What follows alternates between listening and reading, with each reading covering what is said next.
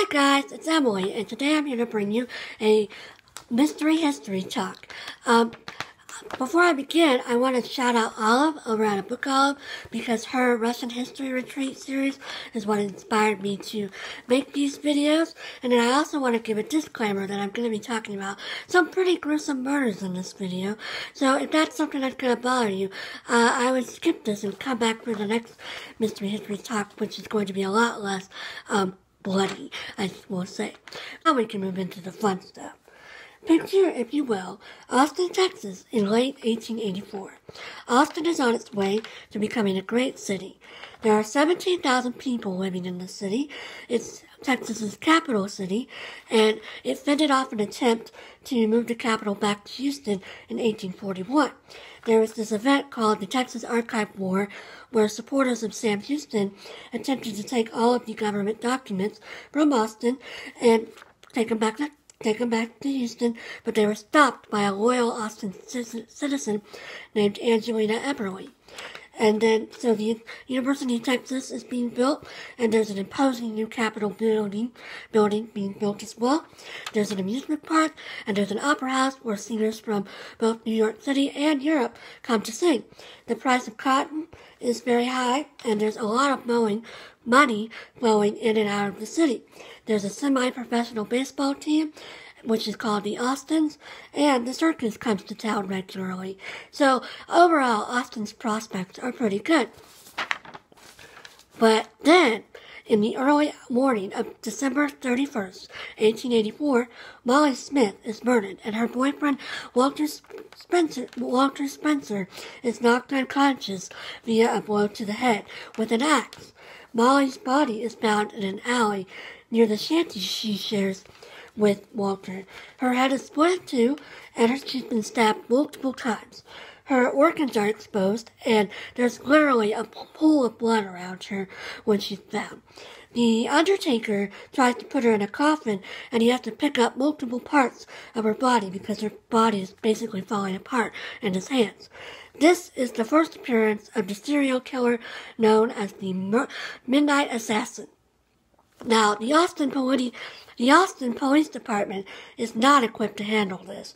There's only 12 policemen in the department, and none of them has ever had to solve a murder before. Most of the Austin murders are very simple, you know, cut, clear cut cases of like saloon shootouts or, you know, rivalry or something very obvious.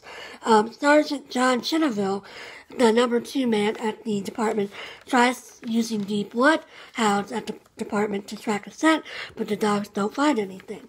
The um, the murder attracts much gossip, but nobody's particularly worried. Um, it's assumed that Molly's either killed by Walter and then he self-inflicted his own wound, or that she was killed by her ex-boyfriend, Lem Lem Brooks, and Lem was known to be jealous of um, Molly and Walter. So people go on to the New Year's Eve parties that night, and they're still talking about, you know, Austin's prosperity and how 1885 is going to be the best year yet in the city. Well, little do they know. So Lem is arrested and then released due to lack of evidence. Life goes on. And then in March, after the biggest parade ever held in Austin for the 49th anniversary of Texas Independence Day, servant women across the city begin being awakened in the night by a ghost. Seven different women report being terrorized by this ghost, and all of them are black. So the white citizens start to think that this is a gang of like black men who are running around terrorizing people.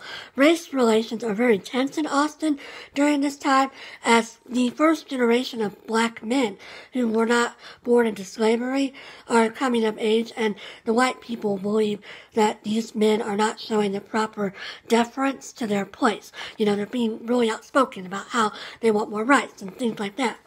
Well, the servant girl assaults um, caused demand for the hiring of more policemen and for electric lights to be put up in the city. But nothing much happens. The chief of police, or marshal as he's known, Grooms Lee, is widely seen as being an, an ineffective political appointment who has very little law enforcement experience. So a few temporary policemen are hired, but for a while nothing seems to happen. But the assaults start back up on April 29th, and then uh, in the early hours of May 7th, 1885, Black cook Eliza Shelley is found with her head axed open. There are witnesses, three, three young sons, but none of them saw the killer's face. And a local man known to be dating Eliza, Ike Plummer, is arrested and then later released. Now there's another murder on May 2nd. Irene Cross, another black cook, and another witness is reported, her 12-year-old nephew.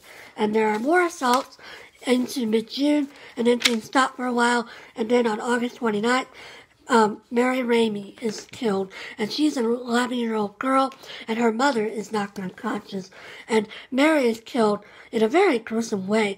A long iron rod is stuck through her ear into her brain, and it basically causes her brain fluid to come out. And the scene that was described was very, very gruesome, very bad. By now, there's bad press all over Texas. The city hired two private two sets of private detectives, one from Houston and then one from Chicago, and neither of them do much good, and the murders keep going on. Now, there's assaults in late September, and then in September, on September 28, four people are attacked. They are Grace Vance and Orange Washington, who are a couple, invite two of their friends who were scared sleep alone to stay at their house. And these friends are Lucinda, Lucinda Boddy and Patsy Gibson. And Orange is killed in the shanty. And Gracie is actually found in the yard behind the shanty with a silver wristwatch on her wrist, and what, it doesn't belong to her. It's later to be found to have been found stolen, but from another servant woman earlier that evening. And then Lucinda and Patsy are badly beaten, but they survive. Multiple men are arrested, including an ex-boyfriend of Gracie's, but no case will stick. There's still nobody knows who's doing this. So Walter Smith, Molly's or Walter Spencer, Molly Smith's boyfriend, is taken to trial for her murder but found innocent.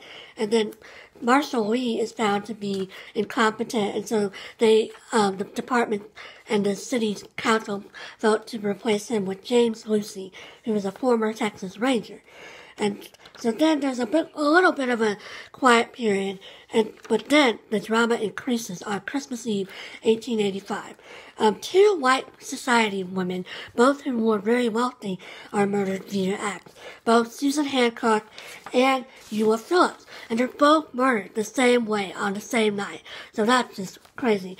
And of course, as you can expect, the murders suddenly take on a new urgency, and 20 new policemen are hired that very Christmas Eve, and people start um, rioting in the streets because they're so frightened by this crazy lunatic that's out axing white women. And so all day during Christmas Day, 1885, the streets are full of citizens.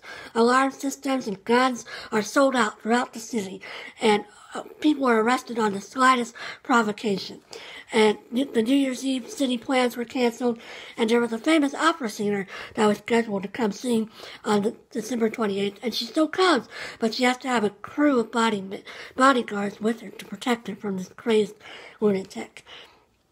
The, these uh, murder of the these murders of the two white women also caused the end of a political career.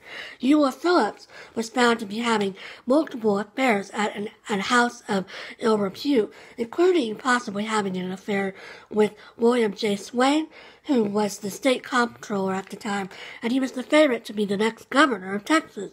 And so um, there was a suspicion that he was the one who even had murdered Eula. And so he worked, he tries really hard to clear his name, but he lost the election for the governorship in 1886 to Sul Ross. So these murders were taking on a, a very big um, proportion in terms of what was going on. Then, um, on August 31st, 1866, um, Patty Scott, another black servant woman, was axed in the head in San Antonio, and her husband William was suspected. But the murder, um, it causes panic to spread to San Antonio. People start believing that maybe this midnight assassin has gone down to, to expand his net of, of crime. The husbands of the two Christmas Eve victims, Jimmy Phillips and Moses Hancock, are arrested and sent to trial. Jimmy was actually found guilty of Eula's murder, but his trial was appealed and he later was released on bail and the charges were later dismissed. Moses' trial was declared a mistrial and then he never really had anything else happen about it after that. So, after the January murder in San Antonio, there's no more murders ever in Austin. But in, on July 13th, 1886, there were two murders in Gainesville, Texas, which is about 250 miles north of Austin. Gainesville is sort of not a suburb of Dallas, but pretty close to Dallas. And in Gainesville, two white teenage girls, Jeannie Watkins and Mamie, Mamie Boatswick, were found after death in Mamie's bedroom, and the panic starts to spread to Dallas, but no arrests were ever made. So, again, there was never any murders in um, Austin or even in Texas, but in September of 1886, Jack the Ripper starts his spree of crime in Whitechapel in London. And there was a lot of discussion in the newspapers and even in some academic circles that perhaps the Midnight Assassin and um, had moved to England and developed this new persona of Jack the Ripper. However, the Midnight Assassin and Jack the Ripper have different methods, of killing, and, and so it's not really plausible that it can be the same person, but there is still a lot of speculation. Um, nobody really knows what happened to the Midnight Assassin. He was never arrested, and his, his identity was never really um, found out at all, despite all the arrests. So the attacks of the Midnight Assassin were the first time in American history, really, that someone had so systematically killed their victims. You know, at first black gangs were seen to be the perpetrator, but then as it went on, people became increasingly convinced that it was just one person, some sort of very systematic person who was probably pretty normal in the day. And so, of course, today we would consider that person a psychopath. And there was even these alienists, who are basically what are modern day psychologists that um, discussed the murder at several conferences, and there was the new theories developed as as a result. You know, these these new theories of just like systematic person who could kill people and then still lead a normal life. In present day, there are people known as Austinologists who still believe that the murder can be solved and still are doing research on it.